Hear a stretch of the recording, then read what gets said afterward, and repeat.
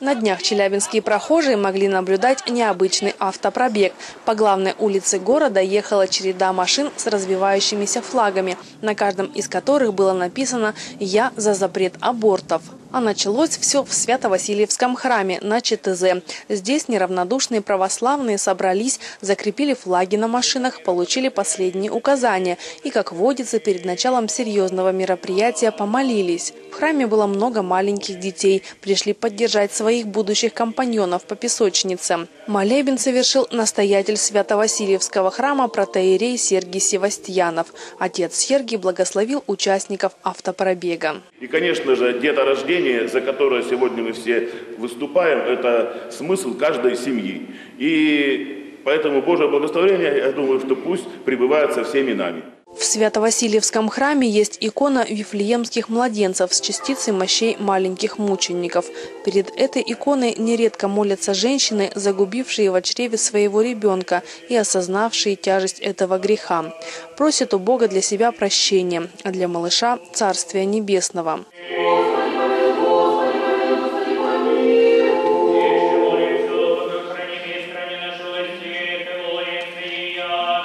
Наконец, стройной колонной автопоезд отправляется в путь от Свято-Васильевского храма по всему проспекту Ленина. Белоснежные флаги с ярко-красной символикой видно издалека. Прохожие с интересом оборачиваются, а автомобилисты приветливо сигналят. Акцию в защиту жизни активисты не случайно проводят в ноябре. Называется акция «За неделя за жизнь. Михайловские дни». Вот, и приурочена она к таким датам, что а, 18 ноября 2020 году Ленин узаконил аборты. Мы выступаем против этого. В 1955 году Хрущев узаконил аборты. А это было 23 ноября. То есть поэтому вот эти даты приурочены. И 21 а, ноября это Михайлов день, все знают православные люди об этом. Стоит отметить, что акция эта всероссийская и уже второй год проходит одновременно во многих городах нашей необъятной Родины. Главными вдохновителями и организаторами являются две московские организации – благотворительный фонд Василия Великого и общественная организация «За жизнь».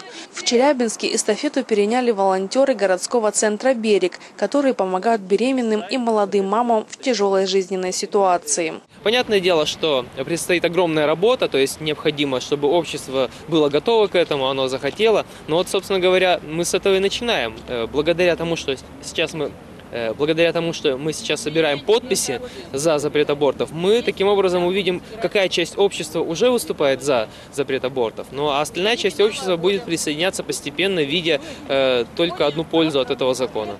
Конечным пунктом поездки стало Алое поле. Здесь уже вовсю кипела настоящая агитационная работа.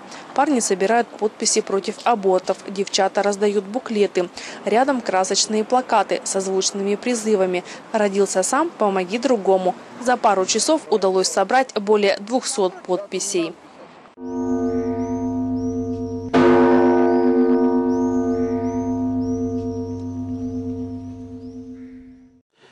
здравствуйте, дорогие телезрители. Сегодня мне хотелось бы поговорить с вами а, о теме ближнего. И эту тему набивает евангельское чтение о милосердном самарянине. Тема ближнего, она очень беспокоит очень часто человека, потому что а, не каждый может ответить на вопрос, кто мой ближний. Ну, казалось бы, брат, сестра, отец, мать, это так понятное такое близкое понятие. А если в более широком смысле смотреть, кто мой ближний – и почему именно притча о милосердном самарине отвечает этот вопрос, кто является моим ближним. А, кто такой милосердный самарянин? Это человек а, иной веры от иудейского общества, в котором жил Спаситель, о котором он и говорил. И ему на пути повстречался человек, который был сильно избит разбойниками, лежал в крови, в ранах, а предшественниками этого самарянина были священник, левит – которые прошли мимо и не оказали помощи этому несчастному избитому человеку. А вот самарянин, будучи человеком другой веры, нашел все силы и возможности перевязать раны этого человека, омыть их вином, довести его до ближайшей гостиницы и там поручить гостинику, даже заплатить определенную сумму, если что-то тот издержит, как он сказал, самарянин, готов по возвращении ему дать и восполнить те затраты, которые он потратит на этого человека. Самарянин оказал милость и милосердие человеку, незнакомому ему, но впадшему в большую беду. В этом человеке, нуждающемся в помощи, он увидел ближнего. И поэтому мы можем здесь сказать так, что ближний нас, наш – это тот человек, который нуждается в нас и нуждается в нашей помощи. Ближний – это человек, который страждет и не находит помощи у иных людей.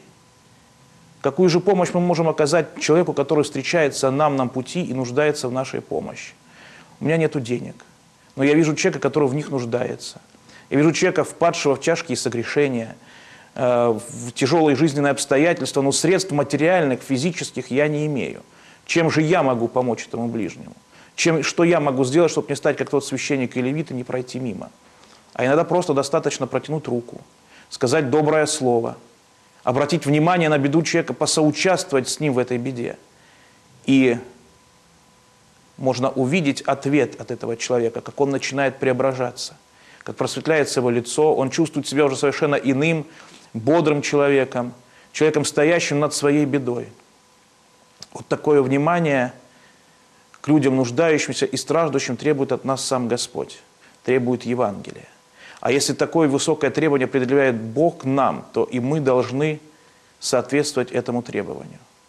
Это не значит, что сейчас мы должны броситься искать таких ближних, нуждающихся в нашей помощи, хотя и это не исключено. Но мы должны и обязаны при виде и при встрече человека нуждающегося – постараться ему чем-либо помочь. Увидеть в нем ближнего человека, ближнего нам настолько, что мы готовы отдать ему все. Отдать свою любовь, отдать свое понимание, отдать даже иногда часть своего материального блага. Когда мы живем для других, мы соответствуем тогда евангельской норме. Когда мы не живем только лишь для себя, когда мы готовы поделиться тем, что имеем со своим ближним, мы исполняем великий евангельский закон – который дан нам Богом.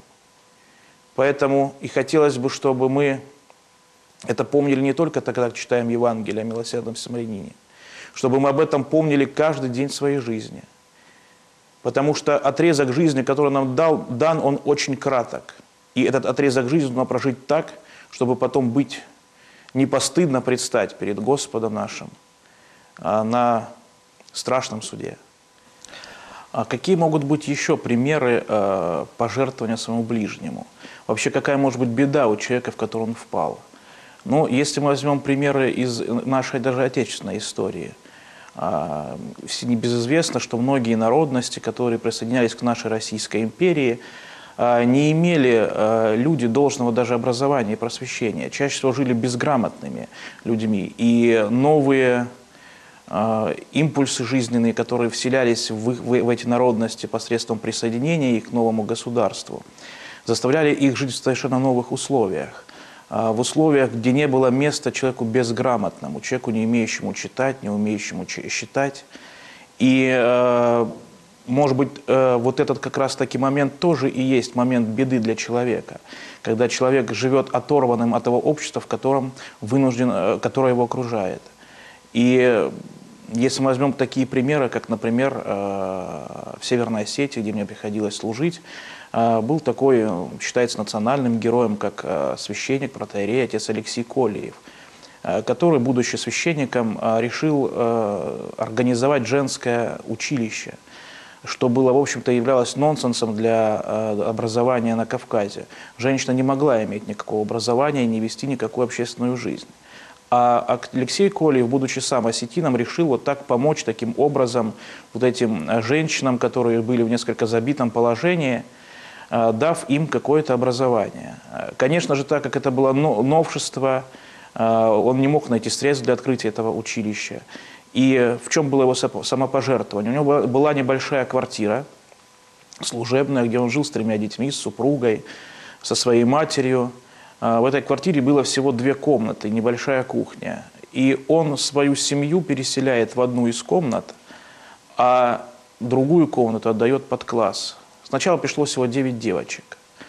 А, но со временем, с годами это училище стало расширяться, и в конечном итоге правительство выделило средства для строительства здания под это училище. А в чем же здесь самопожертвование отца Алексея Колиева?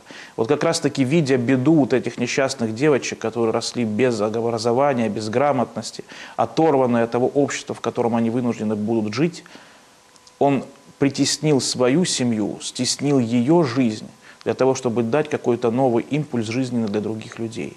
Это тоже есть самопожертвование. И есть в этих девочках он видел как раз-таки своих ближних, нуждающихся в его помощи. Таких примеров множество, и я могу привести пример своего небесного покровителя, святителя Иннокентия Московского, который, э, оторвав свою семью от привычного образа жизни в, Иркутске, пусть далеком таком от нас, но поехал еще в более дальнюю страну, незнакомую для него, к незнакомому народу, но так нуждающемуся в просвещении, в Слове Божием. И э, там он обрел, обрел для себя тех людей, которые стали для него действительно близкими. Для них он был всем, и учителем, иногда и врачом, иногда и э, помощником в каком-то подсобном хозяйстве, тем самым отдав все свое семейное даже благополучие в жертву вот этим людям, которые нуждались в Слове Божием, нуждались в, в его участии в их жизни. Хотелось бы, чтобы примеры и святых, и разных исторических людей, личностей, которые вот являлись собой как бы соответствие вот этой притчи евангельской о милосердном самарянине, чтобы они были для нас примером, примером подражания. Ведь каждый святой дан для нас не просто как человек, который за нас молится там у престола Спасителя, у престола Божия, а это прежде, всего человек, который для нас является примером, как нужно свою жизнь построить, чтобы она соответствовала евангельскому закону. Пусть же примеры святых всегда пребывают с нами, в нашем сердце, в уме, и, следуя их примеру, будем и мы, подражая им, соединяться с Господом в Царстве Отца Небесного. Аминь.